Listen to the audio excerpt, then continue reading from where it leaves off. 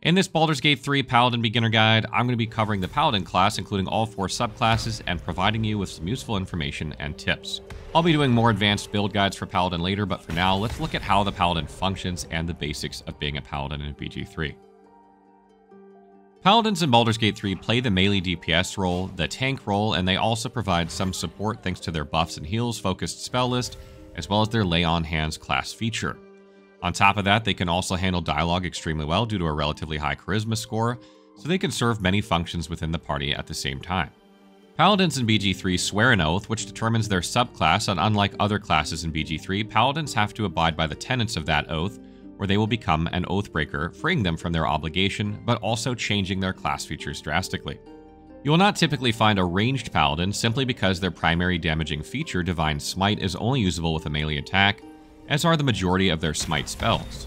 Additionally, they don't have access to the archery fighting style or two-weapon fighting style like fighters and rangers, which means they will typically focus on using one melee weapon when trying to be optimized for combat, either two-handed or one-handed with a shield. Dexterity does not apply to two-handed weapon attacks in Baldur's Gate 3, and the only finesse weapon that does as much damage as a lot of other martial weapons that aren't finesse is the rapier, which means that most paladins will use strength for their melee attacks. In this section, we'll take a look at how to set up your paladin during character creation for the best results. We'll begin with abilities first, since this is arguably the most important part aside from choosing your subclass. Your primary abilities as a paladin are strength and charisma, but you will also want some constitution since you will be a frontliner.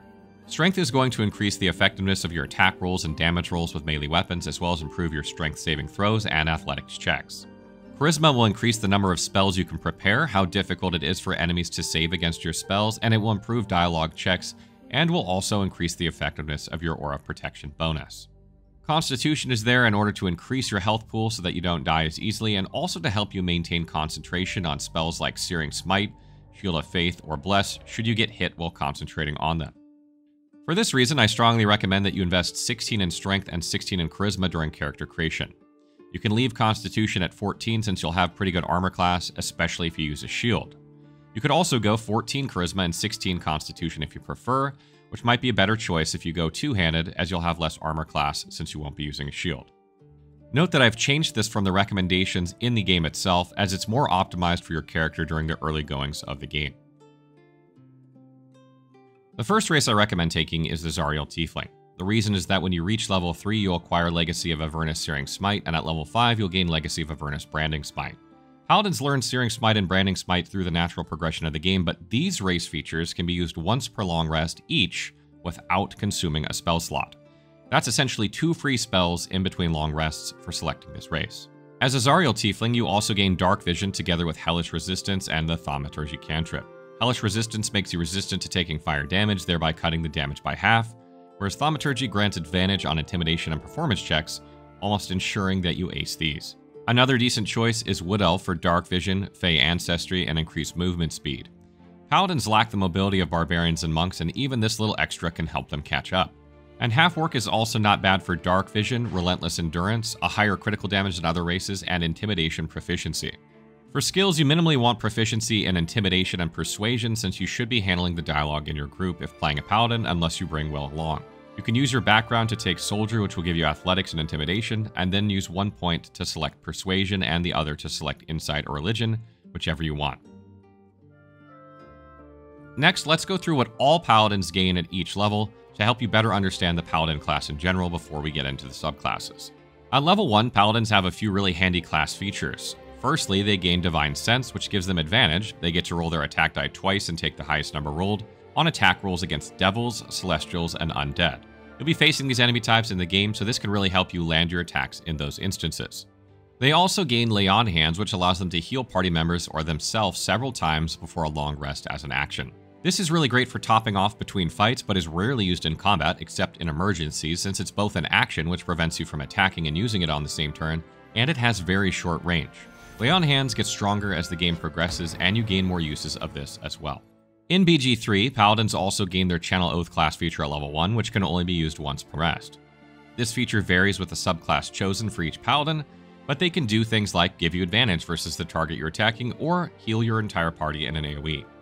These can be extremely strong in the right situation, which is why they are severely limited. At level 2, Paladins gain level 1 spells and level 1 spell slots. In BG3, general paladin spells are mostly buffing or healing in nature, and these include spells like Bless, Cure Wounds, and Shield of Faith. However, paladins do also have a few offensive smite spells, most of which buff their melee attacks in a similar nature to Divine Smite. These do different things than Divine Smite as well as provide different damage types, but they also consume your action, bonus action, and a spell slot, so they're a bit more challenging to use than Divine Smite. Nearly all other offensive paladin spells in Baldur's Gate 3 come from their subclasses, and these are called oath spells, and these are very different from paladin subclass to subclass. Looking through what these spells are ahead of time can help you determine which subclass to choose, and we'll be diving into these more in the paladin subclass section, but for now let's continue on with Divine Smite. Besides being able to cast spells at level 2, paladins can also use their Divine Smite class feature to further boost their melee damage by expending a spell slot with higher level spell slots yielding even more damage if they are used for this purpose. And one really great thing about this is that they don't consume a spell slot if they miss the attack while using it, and they can attack normally and choose to use it if their attack critically hits, ensuring they do even more damage. Divine Smite provides paladins some of the highest single target damage in BG3, and players manning a paladin would be wise to lean into this feature and to try to optimize its use. Gaining more spell slots means that you can use it more times in a single combat encounter before needing to long rest, which increases your chances of victory. Paladins also gain their choice of fighting style at this level, however, they cannot choose archery or two weapon fighting. I highly recommend dueling for increased damage if you want to play one handed and shield, defense for plus one armor class, or take great weapon fighting if you plan to use a two handed weapon. At level 3, Paladins gain Divine Health, which makes them immune to disease. This is just nice to have, though you won't use it all that often. At level 4, Paladins will get to choose a feat, and I highly recommend ability score improvement here for further boost to your strength or constitution, depending on what your modifiers are from character creation. You can also increase charisma here as well, but it is more beneficial to do so if you have an offensive oath spell that you use often. At level 5, Paladins gain extra attack, which lets them perform a second attack in a turn they use the attack action. This means that you cannot cast a general Paladin spell or an oath spell and then attack, but must attack either with a default attack action weapon action, divine smite, or a smite spell in order to be able to attack a second time in a given turn. If you find yourself casting healing or buffing spells or oath spells in combat often and not using extra attack as much, I would suggest respecking into a cleric instead for better spell casting. At this level, paladins also gain access to level 2 spells and level 2 spell slots. This is a big upgrade for the paladin, as level 2 spell slots can also be used for divine smites or smite spells, and these deal more damage when used with level 2 spell slots. At level 6, the Paladin is blessed with the Aura of Protection. This class feature is a smallish AoE that grants the Charisma modifier of the Paladin to all saving throws made by any character standing inside it, including the Paladin.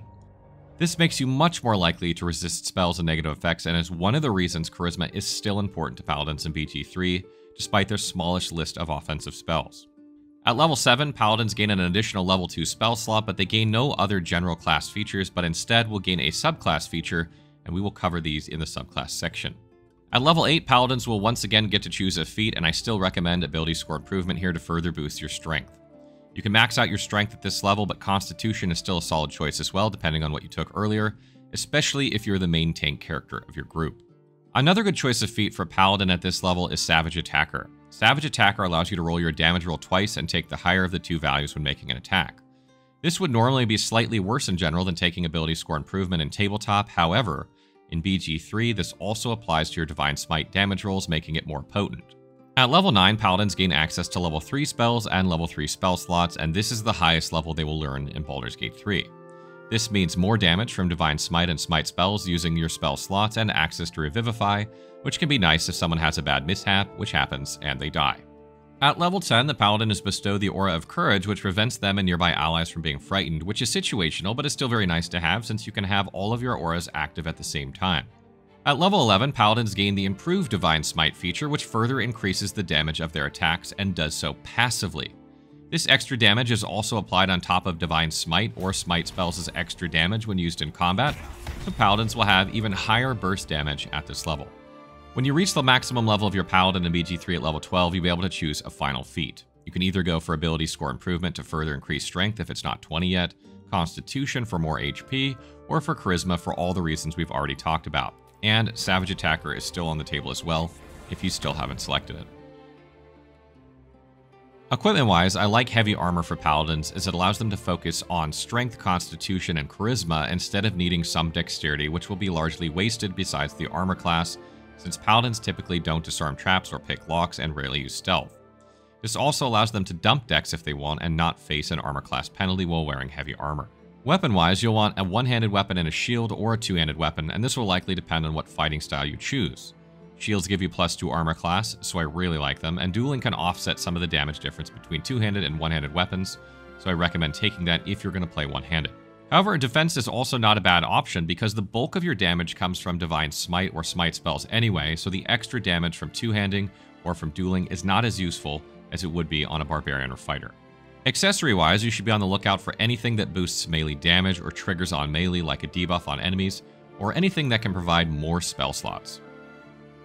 Your choice of paladin subclass comes down to a few factors. What tenets must you follow? What are the channel oath features of the subclass? What oath spells do you gain? And what other class features do you pick up, if any? Let's have a look at these things before we wrap up this guide with some multi-classing tips. Generally speaking, most paladins are good characters if there was alignment in Baldur's Gate 3. The biggest differences are that the Oath of Vengeance has a little bit more wiggle room than the Oath of Ancients or Oath of Devotion since they can punish the wicked, without breaking their oath, while the other two may have to show mercy or risk oath breaking. Oathbreakers, on the other hand, can only be obtained after breaking an oath and afterwards are completely free from following one. They can be as evil as they want from this point forward, but their class features will change to that of an Oathbreaker. However, they can reverse this process, retaking their oath for a large sum of gold in their camp. All paladins gain their initial channel oath feature at level 1 and gain two additional ones at level 3 regardless of subclass. These are completely different from each subclass though, as you can see. Additionally, all paladins will gain their oath spells in Baldur's Gate 3 at levels 3, 5, and 9, gaining 2 at each of these levels for a total of 6 oath spells per paladin, with some overlap between. You'll notice Oath of the Ancients and Vengeance both gain Misty Step at level 5, and both gain protection from energy at level 9. And lastly, at level 7, all subclasses will gain a unique class feature, which is a third aura for three of the paladins, and a passive class feature for the Vengeance Paladin that boosts their movement if they make an attack of opportunity. By putting all these together in one easy to see place, it makes it much easier to determine what the strengths and weaknesses of each subclass are from a mechanics perspective. And you can see from looking over them that Oath of the Ancients has an AoE heal that's a bonus action, which is quite useful. They can also crowd control a single target and make nearby Fey and Fiends flee and forfeit their actions, for their Channel Oath class features. Both of the Ancients Paladins can speak with animals, which might be important if no one else in your group can, otherwise it's not. Ensnaring Strike is much better at range than melee, so it's not particularly great on a Paladin compared to, let's say, a Ranger. Moonbeam is a great early game spell that deals damage in a small AoE and can be moved as long as you maintain concentration without consuming additional spell slots. Misty Step is excellent for Paladins since they generally lack mobility compared to Barbarians, Monks, and Rangers. Protection from energy is very situational and plant growth is as well. Typically you want enemies to get to your paladin so you can melee, so this would only be useful in very specific situations. Aura of Warding is an extremely strong aura and can often save you or a party member, especially later in the game when spells get really deadly. Oath of Devotion Paladins could use a spell slot to make their action deal very good damage to enemies that hit them. They can also make their weapon add their Charisma modifier to their attack roll, bypass resistances, and emit light, which is useful in dark places for 10 turns, which can help them deal more damage. Turn Unholy makes nearby Fey and Fiends flee and forfeit their action, just like Turn the Faithless. Protection from good and evil is situational and can be learned by any paladin, though you don't need to prepare it on Devotion paladins. Sanctuary is actually an incredibly strong spell because it's a bonus action, which allows you to use it on yourself or a friendly and still attack in the same turn. Lesser Restoration is situational and is known to all paladins as well, and Silence allows you to create an area where spells cannot be cast, and this is effective against spellcasters. Beacon of Hope can help a ton in tough fights since it maximizes the roll of all healing anyone in your party does, and Remove Curse is also situational depending on the enemies faced. Aura of Devotion makes it so you and nearby allies cannot be charmed, which is also useful against enemies that use this status against you. Oath of Vengeance Paladins can increase the damage they or an ally does and also make their attacks daze enemies as a bonus action. Dazed enemies have disadvantage on wisdom saving throws, can't take reactions, and lose their armor class bonus from dexterity. They can also frighten an enemy, making them easier to hit and making it so they cannot move, or they can gain advantage against any enemy for 10 turns as a bonus action. These are all extremely strong, and Vengeance Paladins might have the strongest Channel Oath class features of all subclasses. Bane is a decent spell, but there are better for the Paladin to cast, and if you have a Cleric or Bard in your party, you won't likely need it. Hunter's Mark is great at improving your damage, can be used as a bonus action, and can be reapplied to subsequent enemies without consuming further spell slots, as long as you maintain concentration on it. Hold Person is a very strong spell, and it not only prevents a humanoid enemy from doing anything as long as they fail their saving throw, but attacks made from within 3 meters are guaranteed critical hits, which adds an extra damage die for each damage die rolled. This is amazing when combined with Divine Smite or other Smite spells that add extra damage dice since these will also be doubled and also works with Hunter's Mark. And Misty Step, as mentioned before, is just great for Paladins in general. Haste is also exceptional as it provides movement speed, armor class, and more importantly, an extra action to the target, which could be yourself, each turn you maintain concentration. This is particularly deadly on characters that have extra attack since they will get to attack four times in a turn when hastened. However, if your concentration is broken or the effect ends, the target will be unable to move or take any action, bonus action, or reaction for one turn. Protection from energy is very situational when you really need resistance to something specific like tough enemies later in the game. Vengeance Paladins don't gain a third aura like the rest, but instead gain a passive subclass feature that increases their movement speed on their next turn if they make an attack of opportunity. As I've mentioned, Paladins can really use extra movement speed, and this is a great way to get it, as it's not uncommon to make attacks of opportunity as a frontline warrior. Oathbreakers deal damage over time and gain advantage against the target with their first channel Oath, but this is cast as an action unlike the Vengeance Paladin's bonus action channel Oath that does something similar, making it a bit less useful because you cannot attack in the same turn after using it. Control Undead is phenomenal, however, as it allows you to gain control of an undead character until you long rest or it is killed. This gives you an extra body on the battlefield, and sometimes it's a very strong one. Oathbreakers can also frighten nearby enemies, which is great when surrounded. They can use Hellish Rebuke, which is a great way to dish out damage on the enemy turn, and even though it does use a spell slot, it consumes no action or bonus action, which means you can still attack, etc. on your turn as well. Inflict Wounds is just a phenomenal close range damage spell that can quite often deal more damage than Divine Smite. The crux of it is, though, that you need high charisma in order to land it regularly. Crown of Madness is a CC spell and damaging spell in one, since the target can attack another enemy when inflicted with it. Again, you will need high charisma in order to land this spell, though. Darkness is a good control spell that dissuades enemies from entering an area and doesn't require high charisma to use effectively. Bestow Curse works similarly to Hold Person but doesn't provide guaranteed critical hits and instead just increases the damage you deal against the target. But Animate Dead is really where it's at as an Oathbreaker, allowing them to raise skeletons or zombies that specialize in ranged or melee combat. And their aura synergizes with this nicely as well, since Aura of Hate boosts the damage of their zombies' melee attacks by 3 as well as their own attacks. Undead Army for the win. In this section, we'll take a look at multi-classing a paladin in BG3 and what other classes you might multi-class with. Keep in mind this is not a complete list, but rather helpful suggestions to make good pairings. Sorcerers, Warlocks, and Bards all use Charisma to cast their spells as well, so they make great pairings for a Paladin. Level 2 is not a bad time to multi-class for a Paladin that plans to take many levels in Sorcerer, Warlock, or Bard, because they still gain their Fighting Style, One Channel Oath, and their Divine Smite. Full spellcasters bring more spell slots to the table than Paladins, higher level ones as well, allowing Paladins to use Divine Smite more and with greater effect when multi-classed. You could go two levels of Paladin and six levels of College of Valor or College of Swords Bard in order to still pick up extra attack at character level 8. This is a very strong pairing because you have way more spell slots, extra attack still, and all the proficiencies of Paladin that Bards do not typically have. You could also take two levels of Paladin and then go Sorcerer or Warlock. Sorcerer would allow you more offensive spells and provide sorcery points that can be used to make more spell slots or buff your spells that you do use, but you'd miss out on extra attack. So you might consider taking 5 levels of Paladin and 7 levels of Sorcerer if you prefer to have that. Warlock provides Eldritch Blast, which gives you a nice ranged option and is something Paladins could really use when they can't get into melee range, although Misty Step resolves this issue for Oath of the Ancients and Vengeance Paladins. Warlocks gives less spell slots, but they can also grant an extra attack at Warlock level 5 if Pact of the Blade is chosen at Warlock level 3. Additionally, you can regain those Warlock slots on short rest, which is nice. If you don't multi-class Paladin at level 2, the next best place in my opinion is after Paladin level 5, so they have extra attack. But you could also make the case for after level 6 as well, because Aura Protection is an incredibly good class feature. Multi-classing with these three classes provides more variety of spells to use in combat, including offensive ones, so Paladin Bards, Paladin Warlocks, and Paladin Sorcerers will need higher charisma than the average Paladin. Particularly Paladin Warlocks that use Pact of the Blade since they use charisma for their attack rolls. When it comes to multi-classing with martial classes, extra attacks from different classes don't stack, so taking many levels of another martial class is not as useful as it might seem. If you want to mix with one of these classes, I suggest only taking a couple levels in them and going mostly Paladin.